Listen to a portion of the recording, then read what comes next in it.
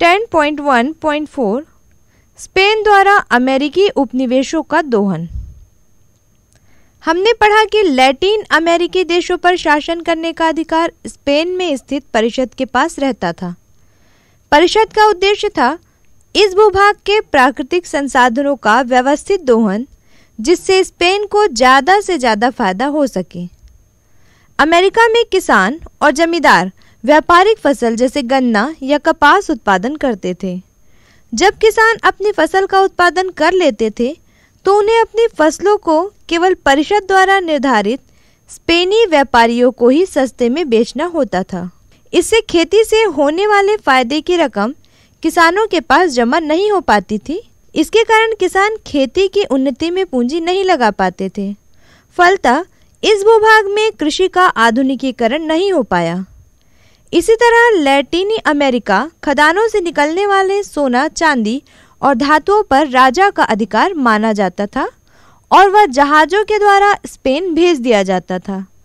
Latin America की खदानों से निकली धातु का उपयोग स्पेन में होता था। उपनिवेशों में किसी भी तरह के उद्योग धंधे का विकास नहीं होने दिया गया। कोशिश यह रहती थी कि सभी वस्तुओं की आपूर्ति स्पेन से की जाए। 10.1.5 स्पेनी उपनिवेशवाद के विरुद्ध संघर्ष। यूँ तो स्पेनी हुकूमत के खिलाफ कई संघर्ष और विद्रोह होते रहे।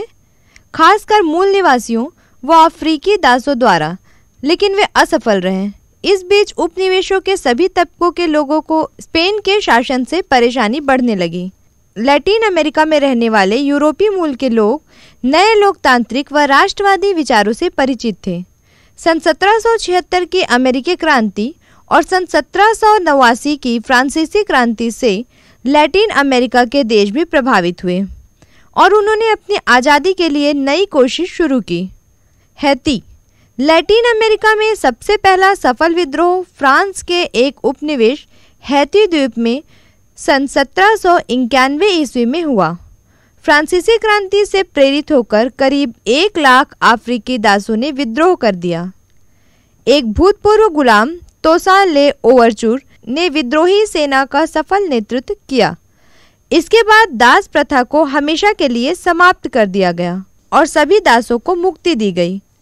सन 1802 में हैती एवं फ्रांस के बीच समझौता हुआ लेकिन नेपोलियन के अधिकारियों ने तोसा ले ओवरचूर को धोखे से गिरफ़्तार कर लिया और उसे बंदी बनाकर फ्रांस भेज दिया गया, जहाँ उसका देहांत हो गया।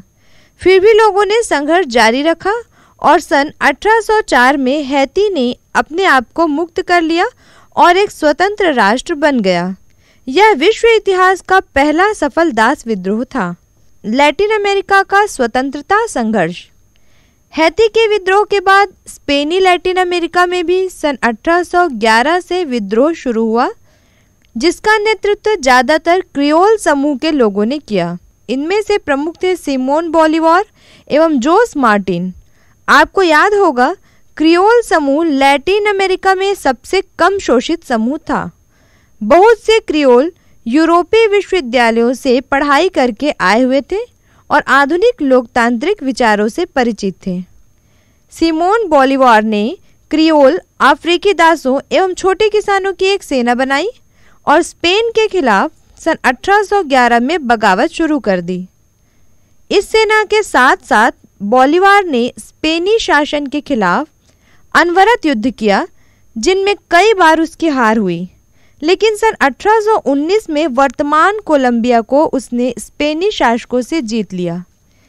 सन 1821 में वर्तमान वेनेजुएला भी मुक्त हो गया। इसके बाद वह दक्षिण में एक्वाडोर पहुँचा, जहाँ वह दूसरे लैटिन अमेरिकी नेता जोस मार्टिन की सेना के साथ हो गया। लैटिन अमेरिका के दक्षिणी हिस्से, जिसको हम वर्तमान में अर्जेंटीना कहते हैं, में विद्रोह का नेतृत्व जोस मार्टिन ने किया। उन्होंने अर्जेंटीना और चिली को स्वतंत्र करा दिया।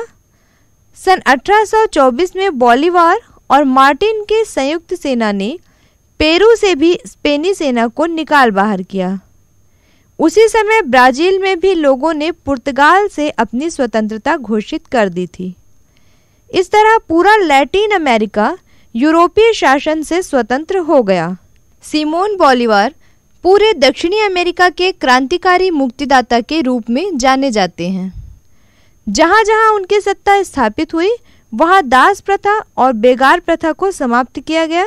अफ्रीकी दास और इंडियन दोनों उनकी क्रांति के साथ हो गए। उनका वादा था कि बड़ी जमींदारियों को तोड़कर छोटे किसानों में ज़मीन बांटी जाएगी, लेकिन यह क्रियोल जमींदारों के विरोध के चलते संभव नहीं हो पाया।